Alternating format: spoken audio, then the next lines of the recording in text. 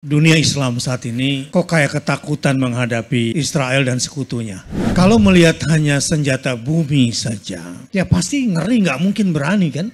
Di bumi saja pasukan-pasukan orang beriman. Kalau Quran yang dijadikan sebagai pegangan dalam perjuangan, dalam jihad visabilillah, maka tidak akan terkalahkan. Ini yang tidak dilihat oleh Israel, ini yang tidak dilihat oleh Amerika, ini yang tidak dilihat oleh orang-orang kafir lainnya. Pasukan-pasukan dari langit.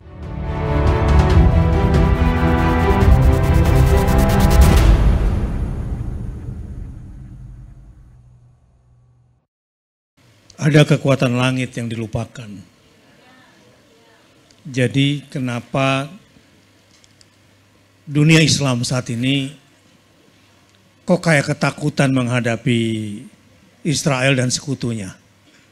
Ya, mungkin salah didik. Nggak pakai Quran, pelajaran sainsnya, pelajaran militernya. Kalau melihat hanya senjata bumi saja, ya pasti ngeri nggak mungkin berani kan? Satu juta banding lima puluh ribu orang misalnya begitu. Kan ini sebuah perbandingan yang tidak seimbang, belum lagi senjatanya. Tapi kalau kembali kepada Al-Quran, wa husyiroli Sulaimana junuduhu minal insi wal jinni wal tayri fahum yuzam. Katakan itu kampungnya Sulaiman. Alaihissalam atau wilayah kekuasaan Sulaiman. Pasukan Sulaiman di bumi ini di luar tentara. Di luar tentara itu ada pasukan apa? Jin, manusia, dan burung. Mereka semua dibagi tugasnya.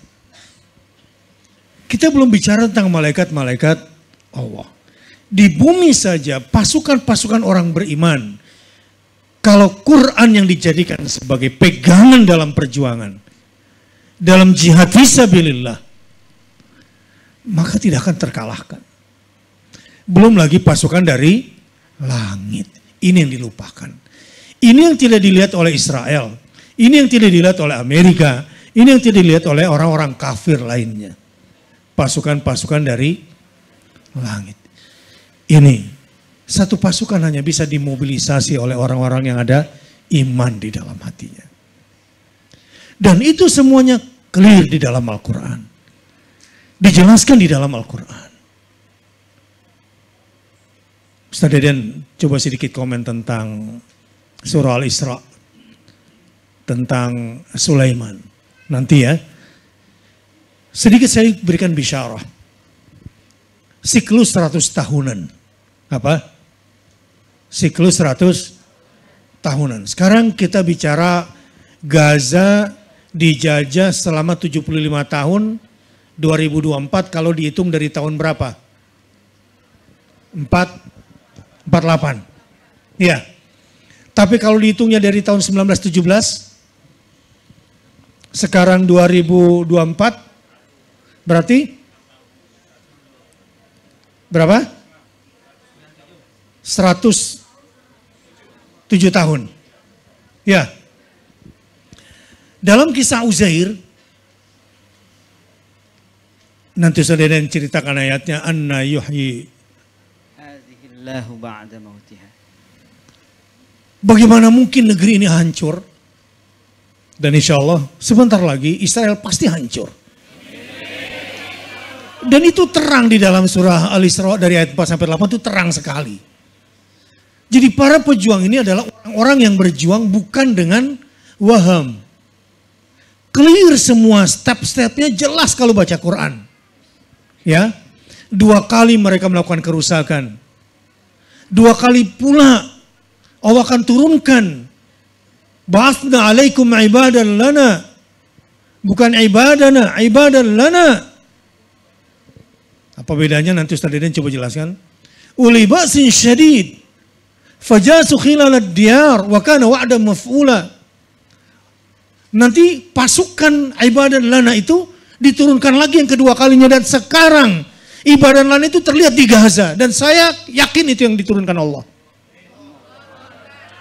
Bayangkan people power seluruh dunia terjadi epicentrum di situ semua senjata-senjata diuji coba di situ belum selesai.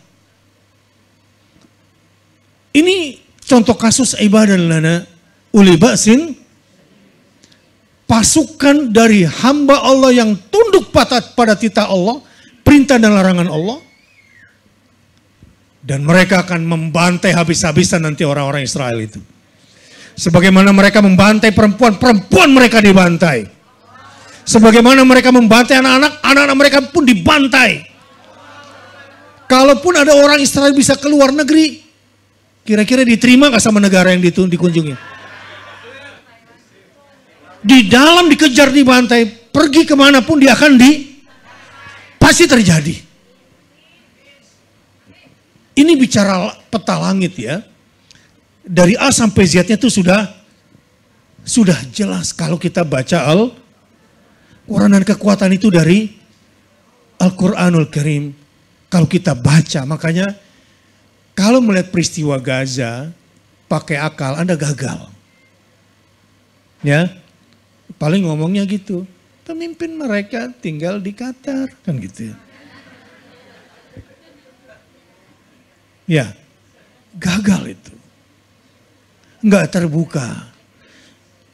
Eh buka mata lu. Mata lu tuh buka.